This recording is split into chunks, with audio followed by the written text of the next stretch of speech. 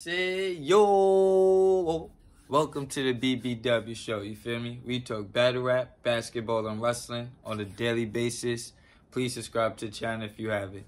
The topic for today is the devil reveal. Yes, yes, yes. We finally got who was under the devil mask for all of these weeks, all of these months, damn near for AEW. You feel me? This has been the best. I'm not gonna say the best AEW storyline, but it's been one of the best AEW storylines of the year because it was like a who's done it. Everybody was making surprise guests. Some people thought it was gonna be Jungle Boy. Some people thought it was gonna be Kyle O'Reilly. Some people thought it was gonna be Sammy Callahan. You feel me? Some people really thought that. Now this all started because basically Adam Cole got injured. I feel like that's when they really started doing this devil storyline around the time Adam Cole got injured. So now since he was gone, some people thought that it wasn't going to be him because he just had two ankle surgeries. They've been teasing Roderick Strong and the Kingdom having something to do with it. I figured they was going to be involved.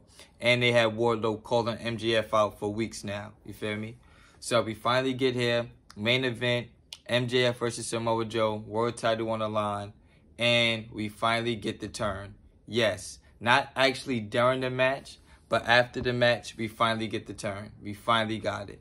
Adam Cole, like they turn the lights out again, which is AEW's favorite thing. Turn the lights out. They have the guys attacking Adam Cole, and then out of nowhere, the lights come back on. Everybody's on the same side, looking at MJF. MJF is surprised. Da da da. Roderick Strong hits a big knee. Wardlow power bombs him. Now we have Adam Cole, Roderick Strong, the Kingdom, and Wardlow together as a tag team, as a faction. Not only that, but MJF is going to need some time off. MJF is going to be off TV for the next two or three weeks, maybe months, because he's out a lot of injuries. Um, MJF title reign was not what I expected it to be. I'm not gonna lie. Most of it was about this tag team with Adam Cole that came out of nowhere. You feel me? It came out of nowhere. And now that Adam Cole's injured, we're not gonna get an MJF Adam Cole match for a few months. We're not gonna get a Roderick Strong MJF match for a few months. And now that he lost the belt, it's not going to be for the world title.